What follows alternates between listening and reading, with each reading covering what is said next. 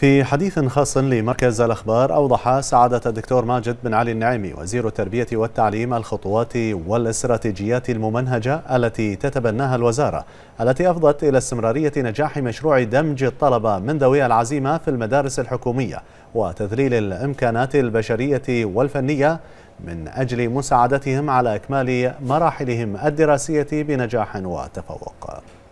هذه الفئة آه، اليوم أصبحت ولله الحمد آه، تحظى بعناية كبيرة ونجحت وزارة التربية والتعليم في دمجهم في المدارس. هذا الدمج أوجد حراكا مهما على الصعيد الميدان التربوي. قامت الوزارة أولا بتهيئة المدارس لهم لكي تتعامل مع مختلف الفئات.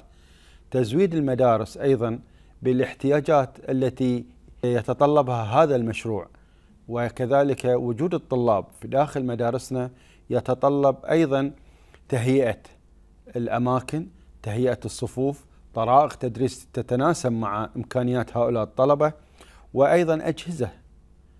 ولله الحمد وصل حتى التعليم الإلكتروني إيه، إلى هذه الصفوف التي يوجد فيها ابنائنا الطلبة. لم نقف عند هذا الحد وإنما أيضا في بعض الحالات تحتاج إلى طريقة معينة مثلا الطلاب من الذين عندهم صعوبة في التواصل أو طلاب التوحد بشكل عام. تم اليوم عندنا حوالي 100 طالب في مدارسنا وهذا إنجاز حضاري لمملكة البحرين حيث تم استخدام معلم أو معلمة لكل طالب وطالبة. تم تهيئة, تهيئة الفصول بالشكل الذي يضمن راحة الطلبة وسلامتهم. اليوم مملكة البحرين يعني حققت إنجاز كبير. عندما عندما تم دمج الطلاب الصم.